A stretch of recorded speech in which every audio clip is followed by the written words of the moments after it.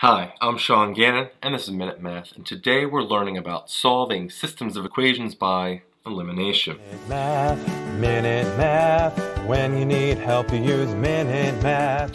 We're going to solve the system by elimination, and we're given negative x minus 7y equals 14.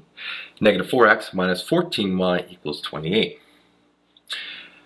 I see the 7 and 14, and I can multiply 7 by 2 to get 14, so there's my goal. If I multiply it by a negative 2 though, I'll get a positive 14y here, which then eliminates the y variable. So let's multiply the whole top equation by negative 2. Negative 2 times negative, negative x is a positive 2x. Negative 2 times a negative 7 is a positive 14y. Negative 2 times 14 is a negative 28.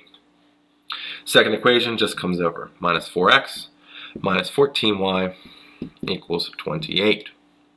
We now add the two equations here. 2x plus a negative 4x is a minus 2x here.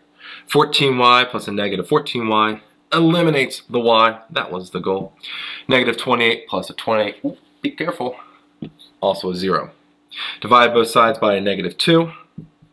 And don't get tricked here. x is equal to 0 divided by negative 2, which is 0. Okay? Make sure you're dividing by negative 2 there. We take that fact and plug it into our second equation to, in one of our equations and solve for y. We can choose which one we want, and let's just choose the first one. I think it's easier. Negative, or 0 and for x, so we have a negative up front, minus 7y equals 14. Well, we can't really have a negative 0, so it's just 0. Don't need it. We have negative 7y equals 14.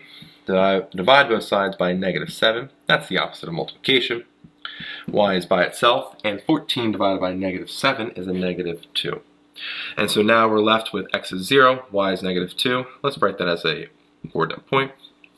And there is our final answer, 0 comma negative 2.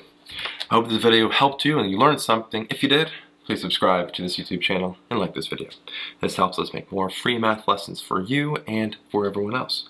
So as always, thanks for watching. Minute Math, Minute Math. When you need help, you use Minute Math. Minute Math, Minute Math. When you need help, you use Minute Math. MinuteMathTutor.com.